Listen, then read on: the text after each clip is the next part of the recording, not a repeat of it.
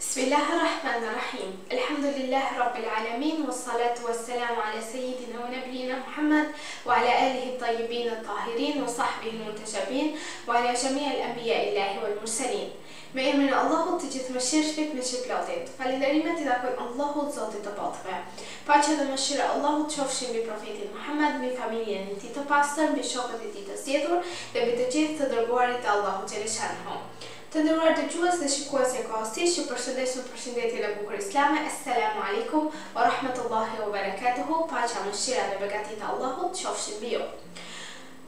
Të nderuar shikues për ditën e sotme do të flasim rreth moralit të bashkëjetesës, pra bashkëjetesa e një individi në shoqërinë ku ai banon. Marrëdhëniet dhe lidhjet e barabarta mes individëve të shoqërisë kanë nevojë për parime të cilat duhen zbatuar. Zbatimi i këtyre parimeve sjell dy gjëra, e para, zhvillimin e personalitetit të individit nëpërmjet suksesit të marrëdhënieve të tij me të tjerët, e më pas përsosja e këtyre marrëdhënieve, Dhe e dyta, nëpërmjet marrëdhënieve të tij me të tjerët që e rrethon, individi zbulon të drejtat shoqërore dhe nuk tregohet neglizhues për këto të drejta e as nuk i shkel të drejtat e të tjerëve. Buqeta e bazave dhe e rregullave ndahet në dy grupe, grupi i parë, që përfshin cilësitë pozitive me të cilat duhet të zbukurohet individi para të tjerëve dhe grupi i dytë përfshin cilësitë negative prej të cilave njeriu duhet të largohet nga to. Pra me fjalë të tjera mund të themi se ka urdhra, urdhra dhe ndalime në morale të cilat individi dhe shoqëria duhet t'i zbatojë. Dhe zbatimi i tyre i përcakton njeriut dhe shoqërisë identitetin e tyre. Por, cilat janë këto moralet e mira? Nëpërmjet marrëdhënieve të tij shoqërore, njeriu lakmon që të jetë i respektuar dhe i dashur në mes të njerëzve. Ky anim njerëzor, që rrjedh nga vetë natyra e njeriut, për të kërkuar pozitën shoqërore, buron nga ndjenja e frikës së vetmisë. Në mësimet e kaluara kemi thënë se shumica e nevojave shpirtërore dhe materiale të njeriut plotësohen vetëm me anë të marrëdhënieve dhe lidhjeve me të tjerët. Njeriu nuk mund ta përmbushë qëllimin e tij kur është i vetëm. Ndjenja e vetmisë godasin shpirtin e njeriut, e si pasojë vjen zemërimi, hidhërimi, depresioni e shumë e shumë ndjenja të tjera që janë negative për personin. Këto probleme me të cilat përballet njeriu i vetmuar e shtyjnë atë të kërkojë marrëdhënie në shoqërinë ku ai jeton. Në këtë mënyrë, ai njihet me shumë cilësi njerëzore të pëlqyera dhe personaliteti i tij rritet dhe më pas përsoset. Moralet e mira luajnë rolin më të madh në tërheqjen e zemrave të njerëzve. Jo vetëm kaq, Ai është baza e mirësive të tjera. Moralet e pëlqyera e humbasin vlerën e tyre nëse nuk trupozohen me anë të moraleve të mira. Çfarë vlere mund të paraqitë një njeri me fytyrë të vrenjtur që nuk ndjen çlodhje për shkak të mënyrës së tij të bashkëpunimit me të tjerët? Dijetarët e moralit, i njohin moralet e mira dhe ato thonë se ato janë gjendje shpirtërore e cila e bën njeriun të mirë, bashkëpunues me njerëzit, të butë e fytyrëqeshur, në punë ose dhe në marrëdhënie të tjera me njerëzit përreth tij. E kanë pyetur Imam Sadik alejhis selam për moralet e mira dhe ai ka thënë, Të jesh i thjeshtë, fjalëmirë dhe ta takosh vëllain tënd me fytyrë të qeshur. Për mirësinë e moraleve të mira ka mjaft hadithe. Ato cilësojnë vlerat dhe ndikimet e tyre në këtë jetë, por kanë dhe një ndikim edhe në jetën tjetër. Profeti Muhammed, sallallahu alejhi wa alejhi wa sellem, ka thënë se, Më të mirët ndër ju janë ata që kanë moral të mirë. Profeti Muhammed, ka thënë në një hadith tjetër, Ai që ka morale të mira ka të njëjtin shpërblim si ai që agjëron e fal namazin. Në një hadith tjetër që vjen nga Profeti Muhammed, paqja dhe bekimet e Allahut qofshin mbi të dhe mbi familjen e tij, thotë rreth moralit të mirë, se e para që i vendoset njeriut në peshë në ditën e gjykimit janë moralet e tij të mira. Nuk ka gjë më të përsosur në peshore se sa morali i mirë, thotë Profeti Muhamed sallallâhu alejhi ue alejhi ue sellem. Në një hadith tjetër, Vula e Profetëve thotë se, Më i dashur dhe më i afërm tek unë në ditën e gjykimit është ai që ka moralin më të mirë. Imam Aliu, paqja qoftë mbi të, ka thënë se, Nuk ka shok, si morali i mirë.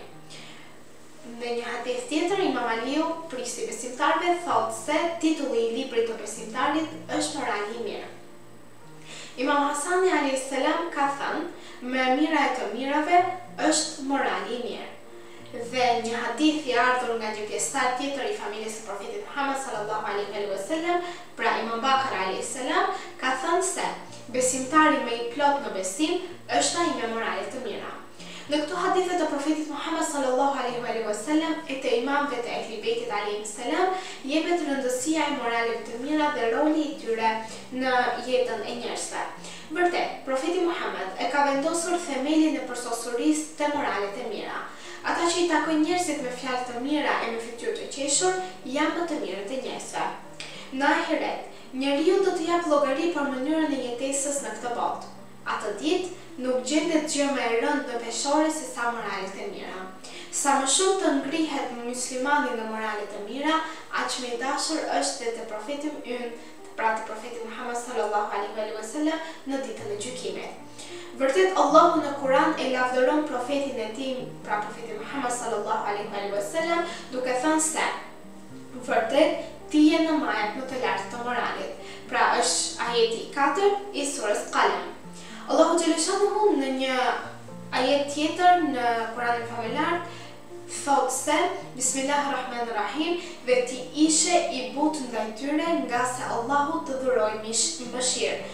E sikur të ishe ti i vrazhdë e zemërfortë, ata do të largoheshin prej teje, prandaj, ti falju atyre dhe kërko dhe kërko ndjesë për ta e konsultohu me ta në të gjithë çështjet. E kur të vendosësh, atëherë, mbështetu në Allahun, se Allahu i do ata që i mbështeten Atij.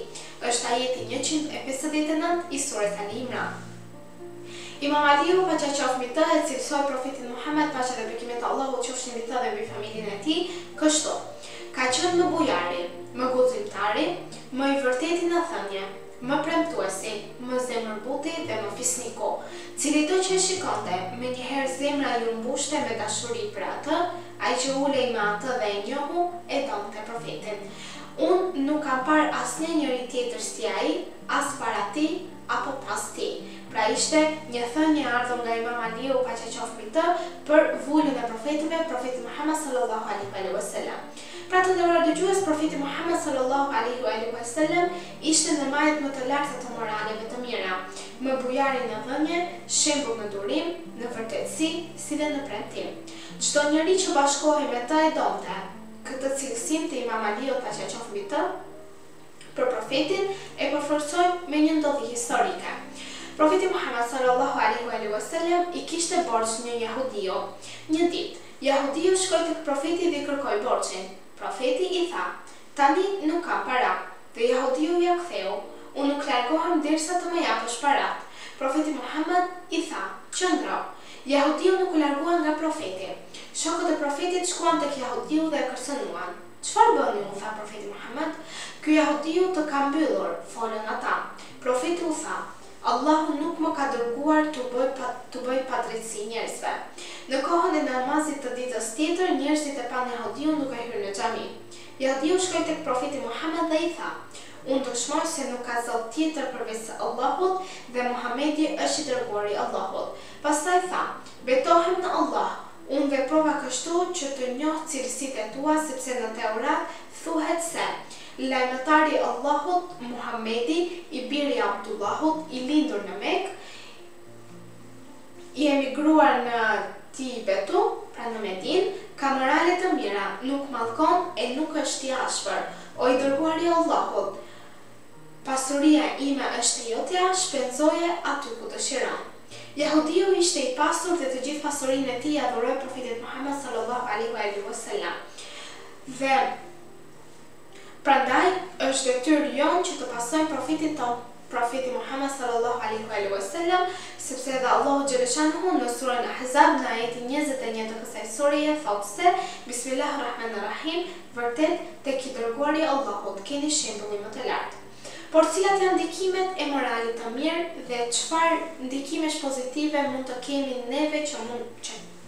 posedojmë morale të mira tek njerëzit përreth nesh. Përreth nesh. Imam Sadiq alejhi selam thotë se, Moralet e mira shtojnë mirësitë. Ai thotë se, Mirësjellja dhe moralet e mira ndërtojnë shtëpi, pra sjellin lumturi dhe shtojnë jetëgjatësinë. Imam Sadiq alejhi selam në një hadith tjetër thotë se, Moralet e mira i prishin të këqijat, njësoj siç e prish uthulla mjaltin. Imam Aliu alejhi selam ka thënë, Moralet e mi e larta shtojnë mirësitë dhe afrojnë shoqet. Po ashtu Imam Aliu paqeqoftë mbi të ka thënë se cilido që mbart morale të mira i shtohen të dashurit dhe me të dhe me të kënaqen njerëzit. Pra vërtet të nderuar dëgjues moralet e mira janë fuqi njerëzore që të rrezatojnë ngrohtësi dhe kanë aftësi të shkrijnë gjynahet. E kundërta ndodh me moralet e këqija. Ato ndikojnë keq sepse prishin dobitë e punëve të mira, ku edhe Profeti ynë, Profeti Muhamed sallallahu alejhi ve alihi ve selam, dhe imamët prej familjes së tij na paralajmërojnë që moralet e këqija duke na treguar ndikimet e tyre negative. Në lidhje me moralet e këqija Profeti Muhamed sallallahu alejhi ve alihi ve selam thotë se, Moralet e këqija janë gjynahe që nuk falen. Po ashtu, Profeti Muhammed, sallallahu alejhi ve alejhi ve selem, thotë, Moralet e këqija e bëjnë jetën të vështirë dhe mundojnë shpirtrat. Moralet e këqija i vetmojnë njerëzit dhe i largojnë shoqërinë. Dhe moralet e këqija vetmojnë të afërmit dhe largojnë të largëtit. Pra këto ishin disa hadithe të ardhura nga Profeti Muhammed, sallallahu alejhi ve alihi ve selem, ku na tregojnë pra efektet negative të moraleve të këqija, por më parë pamë edhe hadithe të ardhura nga Profeti Muhamed sallallahu alejhi ue alihi uesellem dhe familja e tij e pastër, në lidhje me ndikimet pozitive që sjellin moralet e mira që ne mund të posedojmë kundrejt njerëzve përreth nesh. Pra, sipas këtyre haditheve, moralet e mira ndikojnë për mirë te njeriu dhe shoqëria e tij. Ato i sjellin njeriut shumë mirësi si ndjenjën e lumturisë, të bindjes, por edhe të paqes. Dhe e kundërta ndodh me moralet e këqija, ato i bëjnë shpirtrat të jetojnë në stërmundim dhe në një stërmundim të përhershëm dhe në një lodhje që nuk ka diskutim. Pra të nderuar dëgjues, kjo ishte dhe. Tema për ditën e sotme. Ju përshëndes me përshëndetjen e bukur islame, Esselamu Alejkum wa Rahmetullahi wa Bereketuhu, Paqja, Mëshira dhe Begatitë e Allahut qofshin mbi ju.